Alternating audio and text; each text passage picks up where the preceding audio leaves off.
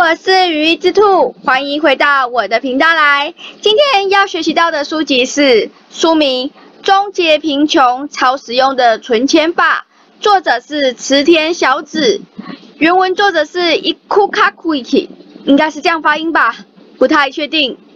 译者林佩仪，出版社木马文化。今天会学习到的内容是：一、真理也能存钱；二、为什么拿到了薪水要一次领出来呢？三、领出来了就会想要花掉啊。四、没钱也可以娱乐。五、早开的零钱存起来。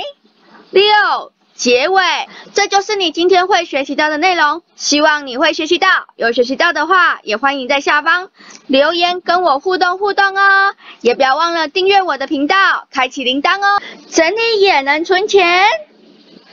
试问你有没有想要找一样东西，明明记得你有这样东西，却找不到它呢？在整理的时候，你把你的东西整理出来，你就会发现，咦，我有买过这个东西吗？我相信你我都有这个经验吧。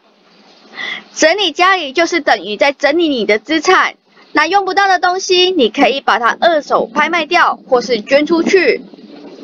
为什么拿到薪水要一次的领出来呢？先说这边的手续费，根据你的银行不同有所不同。那你领一千块的话，也是六元的手续费；领三万的话，一样也是六元的手续费。所以一次领出来，省这个手续费。领出来就会想要花掉啊。书中说，先把钱分成三等份：可花用的、信用卡的账单，然后你的电话费账单呢，都是在这一部分。然后要存钱的，先分配好你的比例，然后花自己可以花的地方。没钱也可以娱乐，现在网络非常发达，有些的展览，甚至有些的娱乐的场所的地方，都是免费入场的，就可以省了很多的娱乐费。或是到你附近的公园走走，这些都是不用花钱的。早开的零钱存起来。先说这个东西跟我在平常在存钱的方式是不一样的。他说先花钞票，再把零钱存起来，然后之后这些零钱存了一堆了之后再存起来。但是我自己本身的话是先花钞票，然后再把零钱花掉。等花掉了零钱之后，我才可以才可以再花掉下一个钞票。结尾这本书都是用漫画的方式来画的，就像你看漫画书一样。可以很轻松的就看完，也很贴切生活化，因为是作者本身自己发生的事情，更有共鸣感。这就是你今天学习到的书籍是说明终结贫穷超实用的存钱法。今天你学习到的内容是整理也能存钱，为什么拿到薪水就要一次领出来呢？领出来就会想要花掉啊，没钱也可以娱乐。